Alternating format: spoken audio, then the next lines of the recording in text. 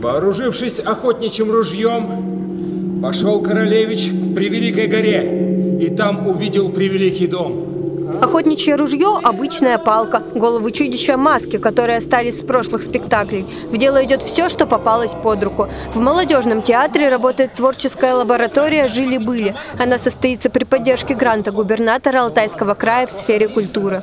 Молодые режиссеры из Москвы, Санкт-Петербурга и Новосибирска меньше чем за неделю создадут эскизы спектаклей по повестям петровских времен. Сейчас на сцене идет репетиция эскиза Игоря Лебедева. Из предложенных театром повестей он выбрал выбрал повесть о немецком королевиче Архилабане. Мне показалось, там есть очень важная тема, касающаяся сегодняшнего дня. А, и тема очень не детская, несмотря на то, что лаборатория у нас называется лаборатория детской русской сказки.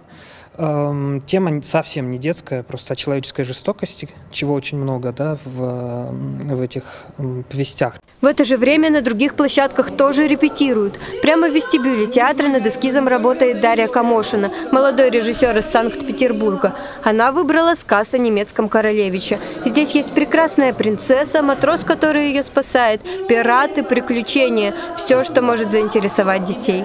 Сценарий, конечно, был написан заранее. Пришлось переработать язык оригинального текста. Он тяжелый и непонятный для современного читателя.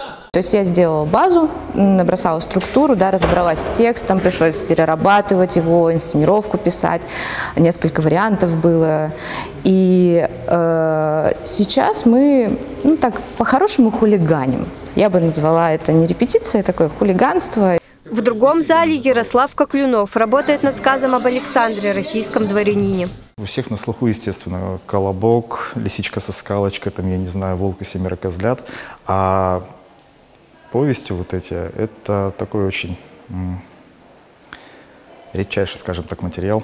Вот поэтому мы решили, что почему бы не попробовать с ним поработать. Посмотреть эскизы можно будет уже завтра. Для этого необходимо зарегистрироваться на показ на сайте театра. Эскиз, который завоюет любовь зрителей, актеров и сотрудников театра, станет полноценным спектаклем и войдет в репертуар театра в следующем сезоне. Алена Николаева, Владислав Ковалев. День с толком.